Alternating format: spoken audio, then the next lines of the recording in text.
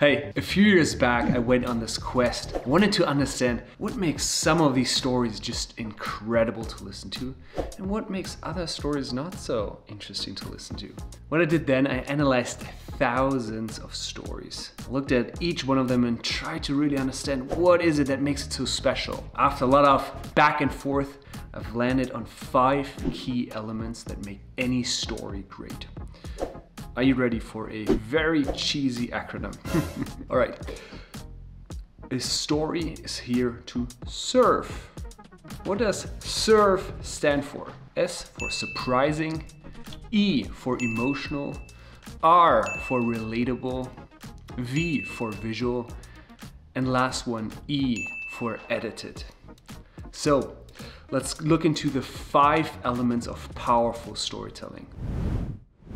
Let's dive into the first one, surprising.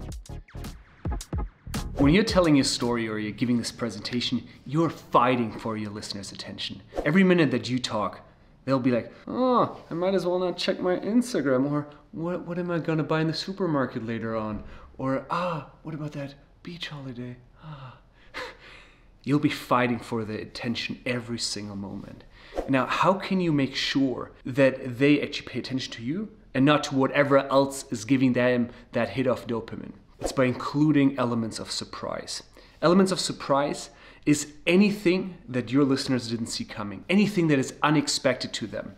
Now, that can be really anything as long as your listeners didn't see it coming.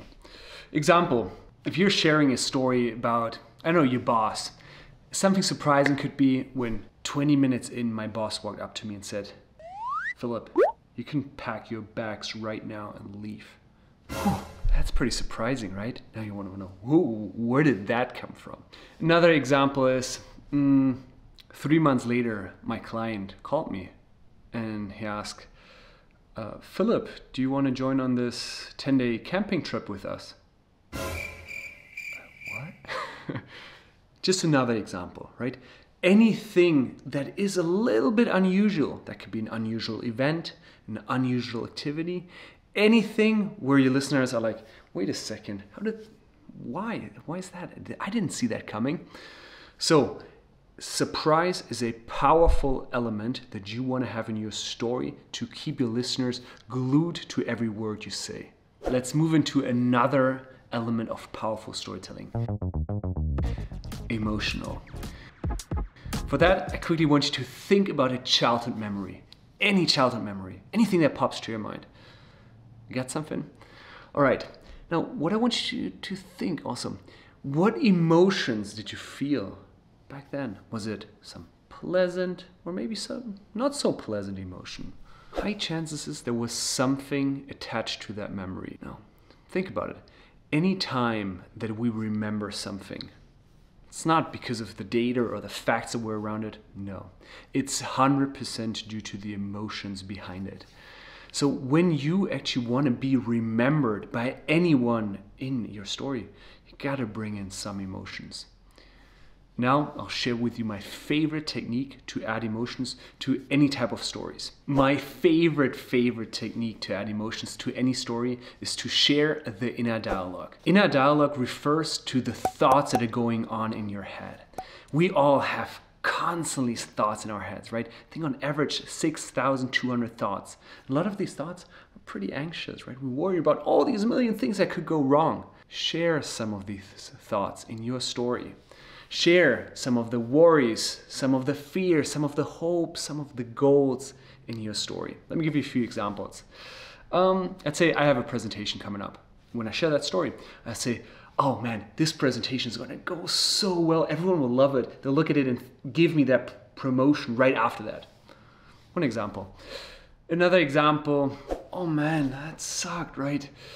I really messed up this presentation everyone will think I'm a failure, everyone thinks that I'm stupid. Another example. See, just share some of the inner thoughts that are going on. It will immediately, but immediately make it more emotional. Next element of great storytelling relatable. When I started off on this storytelling journey, I always thought I need to tell these stories about crazy experiences. about how I almost died in that car accident, I walked up to Mount Everest, or how I sold my multi-billion dollar company. To be clear, nothing of these have happened yet. Yet. But just think about it, right? How many people do you know who have gone through these extreme experiences? Not that many, right? And why does it matter? Well, the main objective of storytelling is to connect to your listener. They should hear your story and think like, ah, this could happen to me. I can see myself in that situation. For that to happen, you don't want to share a story about an extreme event. What you rather want to do is you want to share a story about a relatable challenge, something that they can see themselves in. Let's talk about another element of powerful storytelling visual.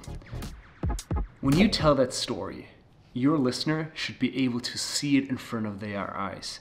They should feel as if whatever is happening right now is happening to them. They should feel as if they were part of that story. Now, how can you do that? let me share with you one of my favorite, favorite techniques to make it more visual, bring us more into that visual moment. That technique is called outer dialogue. Outer dialogue, that's the words that were used in the crucial moment of that story. It's the direct words that were used in that moment of the story. Let me give you some examples. One example is you tell that story and your customer is very happy about it and you tell it like that. There you can use outer dialogue. You can say, Two weeks later, my customer called me and said, Wow, thank you so much. You did an incredible job there. When can we work with you again? One example. Second example, say about your boss being very unhappy with you. Uh, well, my boss called me and said, Why did you change that? The slides are all messed up right now. This is really not good, right? See, it's a tiny change but it makes a big difference. It makes it much more visual. I know that you're freaking out right now. You're thinking, Philipp, how can I remember something that someone said a year ago or five, ten years ago? No chance, right? That's you, don't worry. I don't remember anything that someone said a few years back. But in these moments, you have some creative freedom, right? Use the words that could have been said in that specific moment. Don't worry that you need to have exactly the words that we use in that moment. You have some creative freedom. Last element, edited. I've coached by now thousands of people on storytelling. And I'd say there's one thing, one thing that 90% mess up. They tend to tell stories that are too long or too complex. Now, if you're in a business setting, you have maybe a minute, two, max three minutes to tell your story. Not longer than that. If it's longer, you will lose your listener's attention, guaranteed. Now, how can you make sure that your story is edited? Well, once you've written your story down once, go through it and ask yourself three questions. One, is all that context needed? If not, cut it out. Second, do I really need any of these side characters? If not, eliminate them. And third, what are the crucial moments of the story? If it's not a crucial moment, cut it. Now, by reflecting on these three elements, you'll make sure that your story is laser focused and gets to the point as quickly as possible. All right, these are the five elements of powerful stories. So let's remember Surf. S. Surprising. E. Emotional. R. Relatable. What was the next one? V. Visual. And the last one, E. Edited. And when your story has these five elements, oof, it will be an incredible, incredible story. So try to see how you can add these elements to your story. But also try to pay attention next time you hear a story see almost like checking the boxes. What elements are they using? If it's a really good story, high chances are they're using exactly the elements you learned today. If you liked the video, please quickly hit that like or subscribe button. I'd love to see your support. And check out all these other videos that we have on our channel. Uh, lots of videos on business storytelling, sales storytelling, and also public speaking. So check it out wherever you are. Happy storytelling.